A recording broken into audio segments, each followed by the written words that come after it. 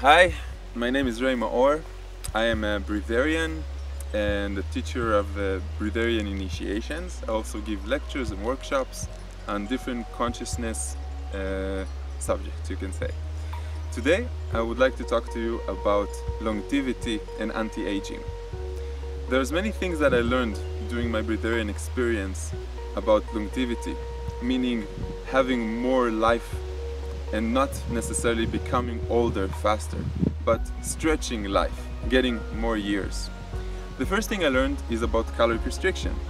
Most people don't know this, but the fact that we eat uh, so much, or we have three plates a day, and the average plate in the Western society has just gone bigger and bigger, is really not good for us. The body doesn't use most of what uh, is goes inside, it uses just a little bit and then it needs to detoxify itself because there's so much things that are coming in. It's not just the physical food it's the energy of the people that move the food it's the carbon dioxide emissions of the trucks that moved it from one side to the other. There's many things. That's why many people do a cleansing. But the cleansing once a year it's not really a cleansing. What you should do is a frequent cleanse like once a week one day only on water and why do we do that? Because caloric restriction enables the body to use its resources much better.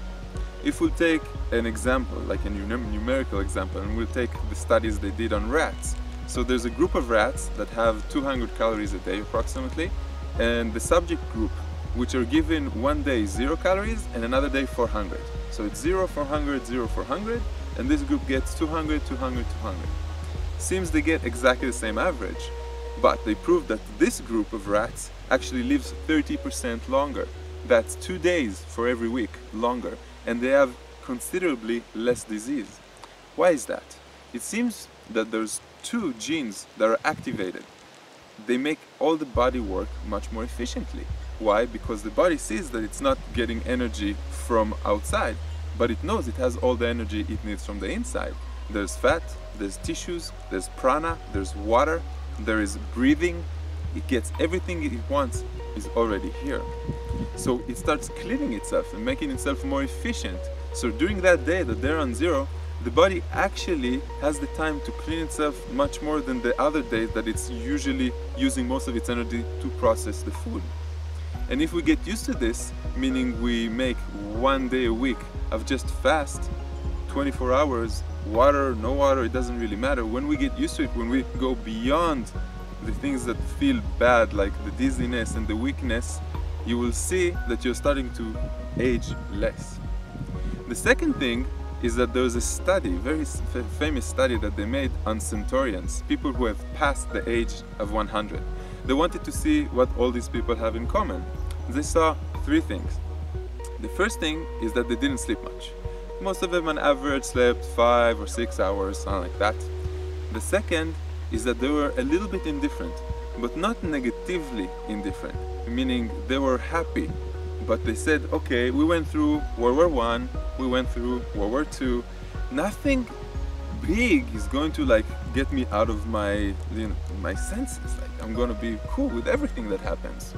And this comes to show that when we're a little bit indifferent, we would just say everything is cool, everything is for the best, it makes our life longer. We are more calm, we are more peaceful. And the third thing is that they actually didn't eat much. Just like the Japanese have this amazing habit of eating until 80%, and you see that most Japanese, except maybe for the sumo fighters, they're very skinny and they look very much alive. They even look very young until uh, an older age. Another few subjects is consciousness. What most people think is that once we pass the age of 30, ah, it's okay to grow a little stomach, it's okay to neglect the physical body, it's okay to stop exercising, and that's usually why they age even more. The consciousness has the ability to just tell the body, look, I want to stay young. I am young once you start hanging around with people that are younger vibrationally, meaning they're more happy, they're more ecstatic, they don't consider, they don't look at the age and say, okay, I'm getting older, I should get more wrinkles, I should get more white hair, but you stay active. Scientifically, our metabolism only changes 2% in every 10 years.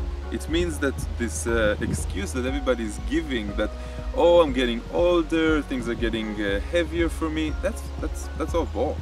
That's BS.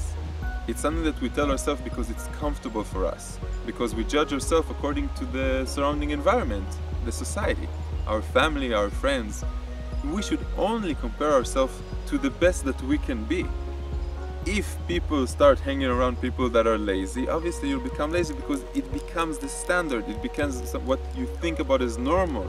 And this is why you see many people going around with the same outfits, going around with the same thoughts. You are unique, you are a unique snowflake. You can do whatever you want. If you wish to enjoy this planet for a longer time, then you already know you have to treat the physical body and the consciousness accordingly. And the consciousness is really easy. Be in your present moment be in joy. See the positive things all around you. That will keep you in the present moment. That will extend your life. So I really hope you enjoyed. If you've come so far, please share this knowledge and I don't know, make somebody change. Just catch one sentence from what I said, embrace it, and try to see if we can change many lives on this planet. If you want to see more videos, just search Ray Maor on Google or YouTube and Facebook. I'll get around to organizing them. Namaste.